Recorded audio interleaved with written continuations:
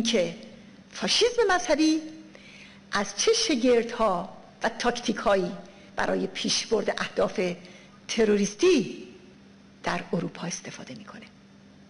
روشنه که رژیم از امکانات قانونی دیپلماتیک بانکی و تکنولوژی که کشورهای غرب و شرایط دموکراتیک اونها استفاده می‌کنه. از سکوت دولت های غرب سود می‌بره. تا اعمال تروریستی خودش رو انکار کنه.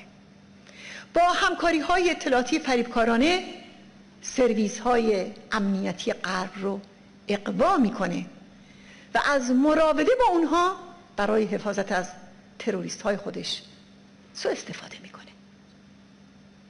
مأموران خودش رو مخالف سیاسی و تحرکات جاسوسی و تروریستی خودش رو تحت عنوان مخالفت با مجاهدین رنگامیزی می‌کنه. و سرانجام این توهم رو دامن می‌زنه که گویا اگر دولت های غرب قاطعیت نشان بدهند قیمت سنگینی خواهند پرداخت.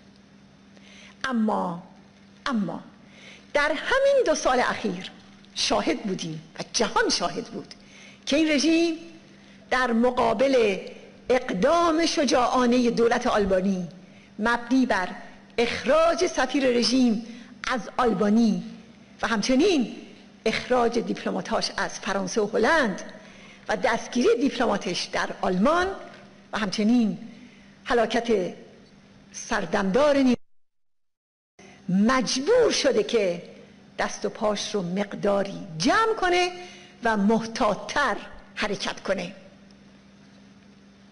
پس نتیجه می‌گیریم که باید در مقابل رژیم با قاطعیت ایستاد و ایستادگی کرد.